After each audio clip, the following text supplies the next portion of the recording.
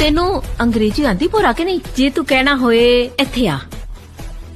Come here ਜੇ ਕਹਿਣਾ ਹੋਏ ਉੱਥੇ ਜਾ। ਉੱਥੇ ਜਾ ਕੇ ਕਦੋਂ ਕਮ ਹੇਅਰ